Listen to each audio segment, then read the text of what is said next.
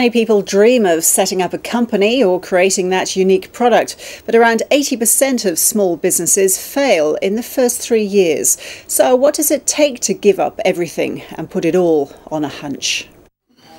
Investment banker Nadia Watson is a self confessed shoe addict, but she found getting around town in designer shoes was a problem.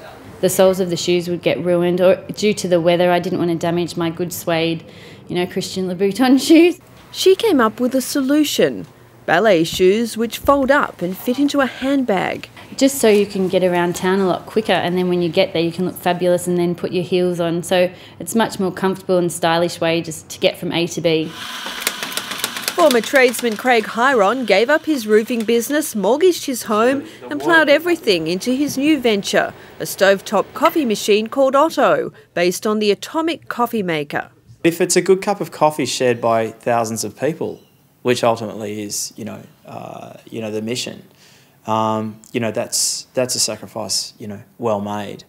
The coffee maker sells for $800. The hand polished machine may be pricey, but Craig Hiron says it will last for decades. I'm aiming it to people who really love their coffee and who love ritual and who love a process.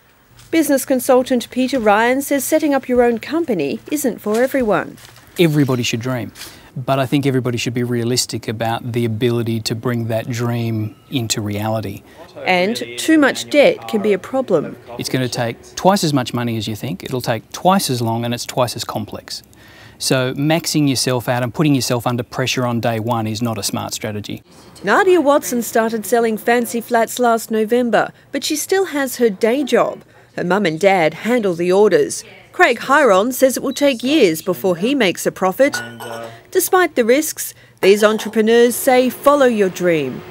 I guess to work in something that's sort of inspiring and that I'm passionate about um, ultimately is sort of how and why I want to get out of bed in the morning. That and a good cup of coffee. Sue Lannon, ABC News.